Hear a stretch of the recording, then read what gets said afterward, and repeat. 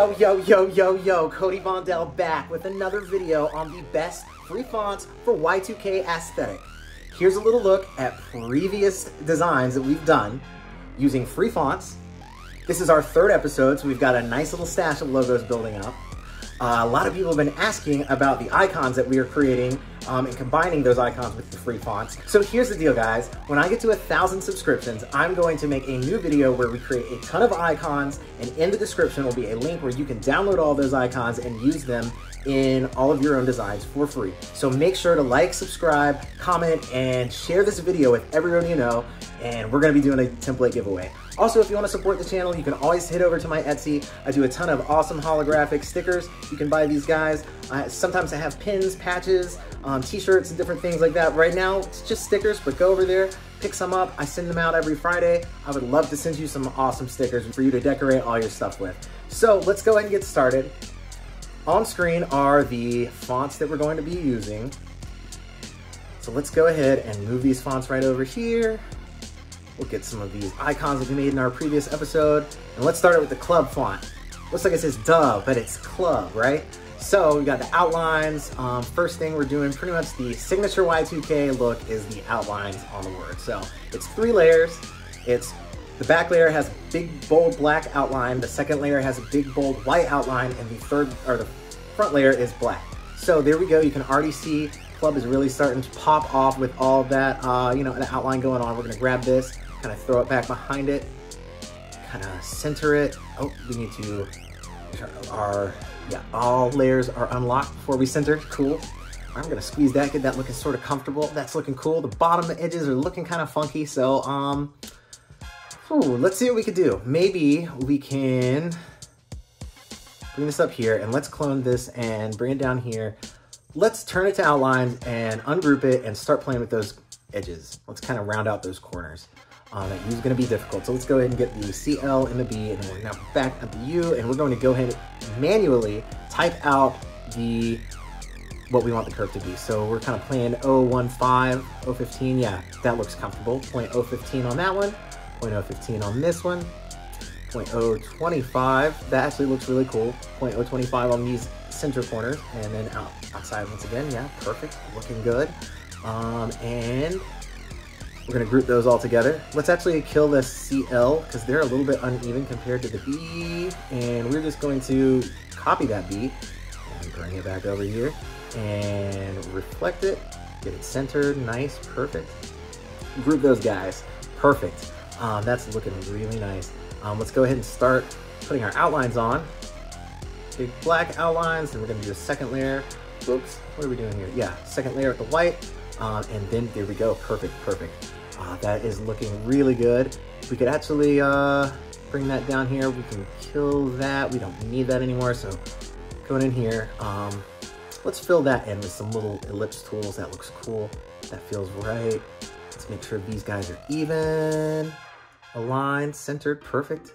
And that's looking comfortable. Um, yeah, I'd say that that's one finished logo. Uh, we can maybe make it a little bit thicker. Yeah, that's it right there, perfect. All right, group that all together. We're done with that one. Um, so next one, Falcon Punch. I like this font. Uh, do you remember the game Power Stone for Sega Dreamcast? That, it's a Capcom game. It feels like Street Fighter. There's a character in it called Falcon, and obviously everybody's punching in the game. It's a fighting game. So uh, let's make a fighting game feeling logo, something that feels like action packed. Um, that's that's what we're gonna go for based off of the title. I like the title for this font, and I like the font, so that's why we're uh, we're playing with it. We're gonna grab some of these guys, bring this on down. That's looking comfortable. Um, bring this star down here, kind of turn it sideways after we round out those corners. Perfect, looking good. We're gonna copy paste it down here, bring that punch over. We're gonna copy the star, change the color to white, make it a little bit smaller. Perfect. Now, now that's looking good. All right, let's go ahead and add the signature Y2K look um, by copying these guys, grouping them, and turning on our outline. So again, three layers for the outlines. We've got the big black out, outline in the back, um, almost as big. Uh, second, you know, second uh, white layer would be almost as big as the black, and then the front would have no layer or, no outline on at all. So that's how we're getting that kind of look. Uh, bring this down here, Kind of stretch it out just a little bit more, bring the star down. And we no longer are going to need those up there. All right, so let's get that, yeah, that's feeling comfortable. Let's fill in the space by just using our ellipse tool back there behind it to um,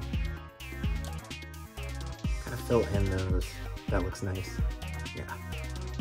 Change the color to white and we're just kind of covering up these little corners and edges and stuff. Just make them look a little bit better. That looks cool. Nice, nice, nice. Scale this down so it fits comfortably with this one. That's two fonts down, baby. Let's go. All right, Zero Day. Do you recognize this one? I do. It's the font for Millennium from the Backstreet Boys in the year 2000. All right, for real though, this font is really crazy. It's cool, but it's it's one of the fonts, in my opinion, that you're gonna have to play with a long time. Turn it to outlines, and I'm not gonna sit here and do it today, but it really round out all of these corners because they're all so uneven. You have to go in like we did on um, that very first logo where we rounded out the corners. And you just have to go in on each corner and just kind of manually make it feel right. Um, what we're doing right now is just adding some ellipse tools to kind of, uh, you're using the ellipse tool to, to create little circles to just kind of give it a little bit more of a futuristic feel or kind of, so let's just, you know, copy these guys, make sure they're grouped, and uh, go ahead and start turning on the outlines so we can kind of get that same thing that we've been doing on the other ends, but this time we're gonna do something a little bit different to kind of give it a slightly more 3D look. Instead of centering our front layer, we're actually going to bring it up just a little bit so it feels like there's a little bit of a little bit more space at the bottom. So it's almost like it's been pushed up. That's kind of cool. Um, yeah, we'll kind of get that. Yeah, that's feeling pretty comfortable. Yeah, we're just gonna scoot it up closer to the top so it feels like, you know, it's uh, 3D, like a button almost. Um, now we're just kind of trying to see what all we can do here. This has been one of the more difficult um, fonts to kind of get right. This one, it's really cool, but it's it's it's a strange one, especially compared to some of these other ones that we've done. Um, that's completely unreadable. What a mess. That happens sometimes, y'all. Um, we're gonna use the warp tool, see if we can... No, sometimes this works out, but with this font in particular, I'm just not feeling it. I think what we'll end up doing is... Now here's a cool idea, and it's probably gonna take too long to actually work out the way I'm thinking, but we're gonna just take a look and see what it might look like if we were to use our just our line tool to kind of create these, the illusion of like raised, like it's even more raised up, or I guess add to the illusion that it's been raised up. Um, just by kind of copying that and just bringing these over here. If we really took our time, this could look really cool, but I don't think we're gonna do it. We're just gonna play around with the idea. That's what you do a lot of times in graphic design. You, you flirt with the idea, but you don't follow through. So that's where we're at. Um, that's looking okay. We're gonna use the shear tool for negative 20 to kind of give it a little bit of an angle. That's doable. I mean, it's not my favorite, but it works. Um, let's put it up here. Maybe we could find a little something. Yeah, maybe that guy will put it right back here at the, the front. Nice. Cool. That actually worked out all right. You can, yeah, that worked out. So this one is actually going to be cake. Overmuch is so cute and kawaii. It's not going to take us very long to make something really dope out of this one. So once again, we're playing with those outlines. We've got the back layer with the thickest black outline. The second layer has, in front of it, would have a slightly less thick white outline. And then our front layer is going to be black with no outline. And that is how we're getting that signature Y2K look. Boom, there it is, perfect. Let's grab some one of these stars up here. We're gonna paste it over here in the corner, make it a little bit smaller. Ooh, that's looking comfortable. Let's copy it and paste it and make it slightly smaller, bring it over here. Nice, we'll group these and we'll copy those, paste them, turn them around, put it in this corner. That's really comfortable. That's a little better. There we go, nice. Now that's looking nice. We're gonna bring this ring down here Let's make sure we copy it and don't use the original one. That's looking really nice. That was so easy compared to uh, Zero Day. Overmuch, so cute and kawaii. It's like you instantly know what to do with it. Beautiful. Chef's kiss. Let's uh, scale these down just a little bit. Now we have four logos in minutes, y'all, using free fonts and icons that we made in a previous episode. It's that easy. Um, so for this last one, accelerator, ooh, that, that, that, that font's just, I mean, it's, it's, it's got, it's aerodynamic, right? So let's play with this ring, putting this kind of ring shape behind it.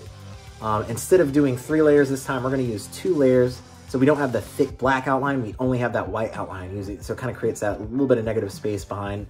So it kind of looks like, you know, the ring behind it's behind it and it's not interacting with the actual letters itself. Right now we're playing with the kerning, kind of making it a little bit tighter. This font showed up with the shear full blast. It, it, it's, it's like I said, very aerodynamic. Accelerator, boom. Um, so this one is gonna get a little bit over the top because I want this to feel like something from Wipeout. To feel like totally futuristic. Um, right here, we're going to put the one on two layers right there, boom. Centered, make it a little bit smaller, boom. It's like the Pepsi logo. I love it, beautiful.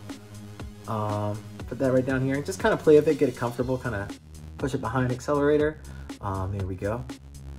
Boom, very nice, very nice. Now we'll kind of play around with that. Let's go ahead and clone accelerator. Actually, yeah, that's kind of comfortable.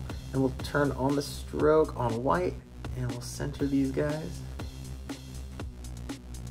That way, the R and the like little ring there don't, you know, interact. Nice, that's looking really comfortable. And just to kind of add to this futuristic element, we're gonna bring this down here. We're gonna stretch it out and give it that extra shear. It's so futuristic, boom. This is like the, yeah, some graphics on the side of your wipeout vehicle. You know what I'm saying? The accelerator one. This guy just goes around kicking major ass all the time. I love it. It's like a straight up, yeah, future racer kind of look. So yeah, that is looking nice to even uh, make it even a little bit wilder. Let's, uh, yeah, that's it right there. Boom, that is it. Um, let's add one of these. Take these little things, make kind of looks like buttons, extra techie. We're just gonna bring those down. Ooh, that is comfortable, y'all. That's That feels like straight out of Wipeout. Um, very Designers Republic feeling. Cool. So there we have five brand new logos made out of free fonts and some icons that we've made for free. Um, you guys, I greatly appreciate all the interaction. It means a lot that you guys are checking out what I'm doing. Um, like I said, we're going to be doing a little giveaway. I'm going to give you a ton of free icons that you can use. Share this video, like, interact. Let me know if there's anything that you want to see. We're going to be looking at mascots next. Uh, my next video is actually, I did some, uh, I did the logo, uh, or the, the titles for the most recent Nicki Minaj Lil Baby video um, called Do We Have a Problem? So I'm actually going to be just giving a quick little rundown on like the workflow, how that came from, you know, beginning to end, point A to point B. Um, so make sure to tune in and watch that. Uh, I'll see you guys in the next video. Thank you.